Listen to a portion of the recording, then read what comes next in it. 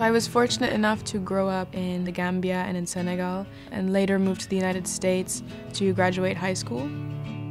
I've always been interested in how human cultures experience and represent their relationships with people and the natural environment around them. I really wanted to do the Bachelor's of Science in Cultural Anthropology at the VU Amsterdam uh, because of their international classroom. The international classroom was a place where diversity and differing values was really the starting point of being able to communicate different cultures and different perspectives.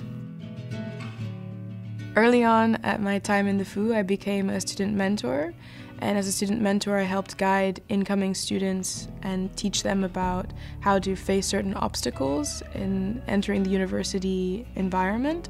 And when the COVID pandemic hit, I really identified key aspects of the program that could be changed and redesigned in order to better support students who were, would now be uh, studying online or would be communicating in very different ways.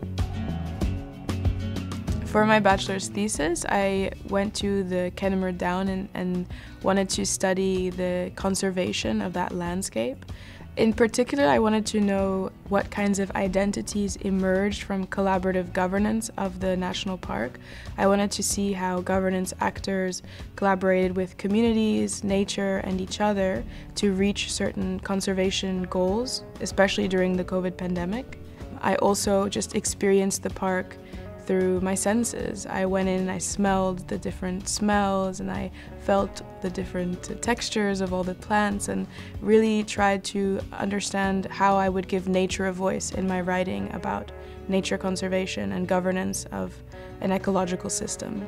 I think that using such a perspective in biocultural conservation would be extremely valuable for conserving natural resources and people's relationships to the land.